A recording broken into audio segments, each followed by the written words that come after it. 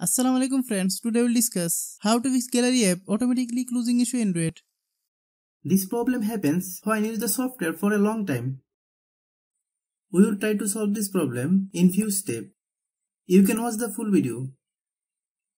This problem occurs for several reasons. You need to clear the data of the software that has the problem. If you are new to my YouTube channel, please subscribe. Click settings Click Apps. Then click App Management. Find Gallery app. Click Gallery app. Then click Storage Use. Click Clear Data. Then click OK. Click Back. Click Force Stop.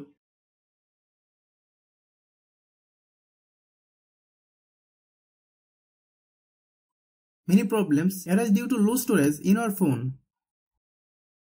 Click Settings. Click About Device. Click Storage. Click Clean.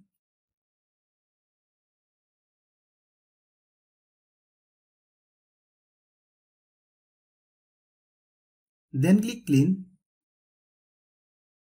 Some phone functions are different. If you don't have this option, like me, how do you solve it? Click settings. Click search bar, then type storage.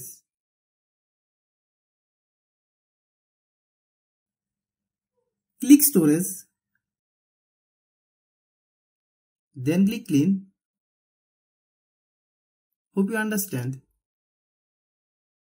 Many times it is seen that we are using the software for a long time but we are not updating the software. This is why we can see this problem. Let's see how you solve it. Open Google Play Store. Then search Gallery app.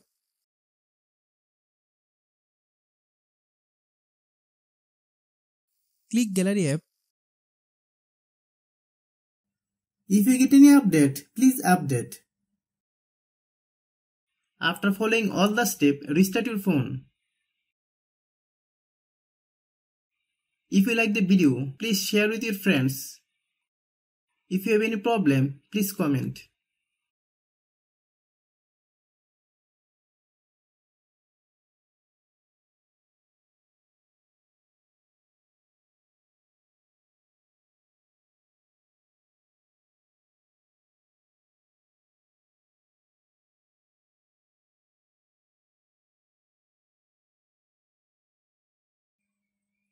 Thanks for watching.